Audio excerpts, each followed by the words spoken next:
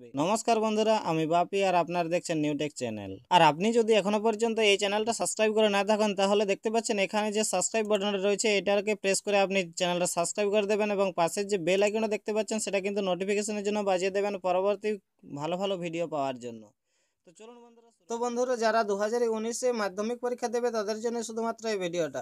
অক্টোবরে সকলের টেস্ট পরীক্ষা শেষ হয়ে গেছে এবং তোমরা আশা করি সবাই ফাইনাল পরীক্ষার জন্য প্রস্তুতি নিতে শুরু করে দিয়েছ। তো ফাইনাল পরীক্ষার জন্য প্রস্তুতি নেওয়াটা খুবই জরুরি কারণ এবছর অন্যান্য বছরের তুলনায় এক মাস পরীক্ষা কিন্তু এগিয়ে গেছে। অন্যান্য বছর মার্চ মাসে পরীক্ষা শুরু হতো ফাইনাল পরীক্ষা কিন্তু এবছর বারোই ফেব্রুয়ারি থেকে পরীক্ষা শুরু হবে।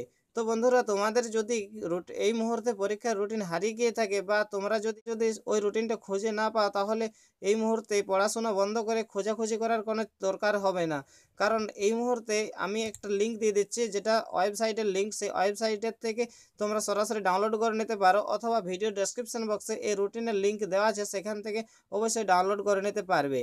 তো বন্ধুরা, তোমরা পশ্চিমবঙ্গ মধ্যশিক্ষা পর্ষদের যে হোম ওয়েবসাইটটা রয়েছে, সেই ওয়েবসাইটটা ওপেন করবে অথবা ভিডিও ডেসক্রিপশন বক্সে লিঙ্ক পেয়ে যাবে, সেখান থেকে ওই ওয়েবসাইটটাতে প্রবেশ করে যাবে। তো এখানে দেখবে যে এক্সাম শিডিউল দু হাজার উনিশ যেটা রয়েছে, এখানে ক্লিক করে দেবে। এখানে ক্লিক করে দেওয়ার পর একটা পিডিএফ ফাইল দেখতে পাবে।